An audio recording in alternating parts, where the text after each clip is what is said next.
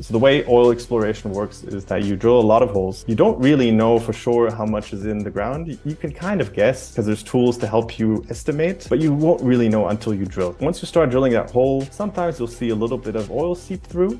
That's a good sign, but sometimes you'll also strike nothing, and then it's just, okay, move on. And then sometimes you'll hit absolute gold, and then it'll just shoot up. Once it does, that's when I say, okay, you found one hole here, but all my other holes were all over the place somewhere else because I was kind of trying to just cover as much space as possible. But once I find oil here, well, then I start checking around that hole. And those are basically the sub niches that you then sort of dive into within the larger, broader niche. I can attest to that as well. Sometimes you find a working concept, a working sub niche, and then you try similar stuff for similar yeah. niches, or you apply the concept other niche is, and it just works. You have to do a lot of groundwork, you know, covering all that space to be able to say, you know, I need to go deeper here. You just yeah. can't do it from the start.